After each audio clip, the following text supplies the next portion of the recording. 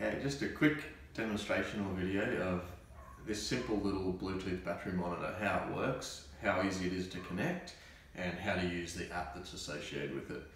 So this is all it is. Um, comes with this in a packet um, with a full instruction booklet showing you how to get the app and how to connect to the battery.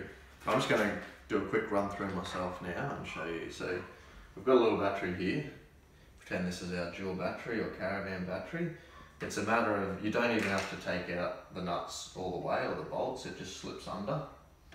So just loosen those off.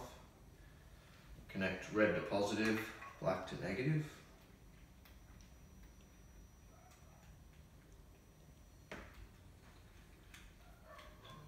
Just like that. Just nip those out.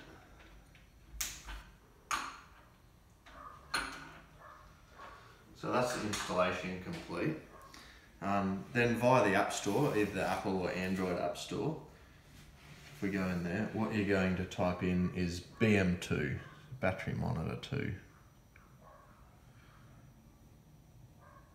And search. And that's the app we want there. So you want to open that app or, or download the app. So I've got a few connected already, so I'm just going to select this one so we can see it, our auxiliary battery. Now it's going to pick up all the devices that are in the area and you can have more than one, you can have multiple devices.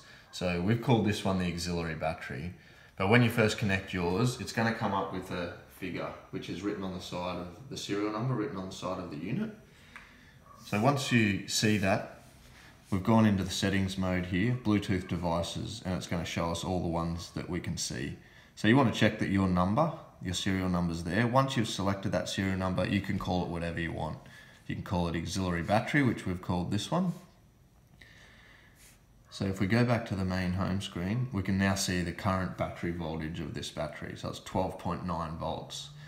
So that tells us how charged we are and how much we've got left. So we, this is an AGM battery, so right now it's sitting at fully charged voltage, usually 12.8 fully charged, and we don't really want to take it below 12 volts. We want to stay in that 12 to 12.8. But the other handy thing is we can actually also see that it's charging. So I'm going to simulate that by this little battery charger over here. I'm going to connect that to the battery and that'll simulate that we've got the car running. Um, and tell us that we're actually charging our dual battery system. So we'll just connect this up here. So effectively this is like your Redarc charger has clicked in and started charging. Um, if you've got a dual battery system or if you're in a caravan at a caravan park, it would show that you're plugged in and the 240 volt charger is charging. So when this kicks in, we're starting to see a voltage increase. So we can sim we can tell now as it's slowly going up and it should come up higher. So we can hear the charger really starting to work now. So anything above the 12.8 on an AGM, we know that the the vehicle's on charge or the battery's on charge via whatever means, whether it's the engine running, 240 volt charger, or even solar, we'd see it slowly creep up during the day. We can see the graph coming up as well, showing the increase in voltage. So it logs the entire trip if you're connected to, and stores up to 31 days of data without being connected. So now that we're definitely on charge, we can see that from the voltage, we can actually do a charging test.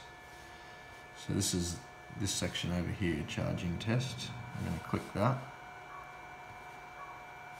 So it's doing a test now.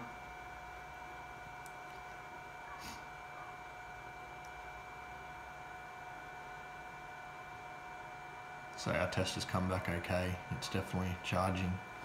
It also logs the trips that we've done. So we're going to, so we can see the date and how long the trip was when it was on charge. But the main, the main screen is what we really want to look at. We can just monitor our voltage. Another great feature is if we go into settings, we can actually set power alarm parameters. So when this battery gets to 50% discharged, so this graph considers 12 volts to be flat because we don't want to go below that.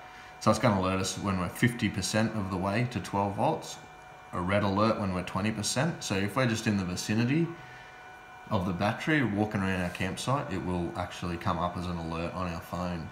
You can also get daily reminders. I've got that turned off, but if we turn that off every morning, we're going to wake up and it's going to tell us where our battery is at. If it's 50% charged, 70% charged, what its current state is. So that's basically how easy it is to to use um, this system to just connect to your auxiliary battery and monitor the basics of how charged you are.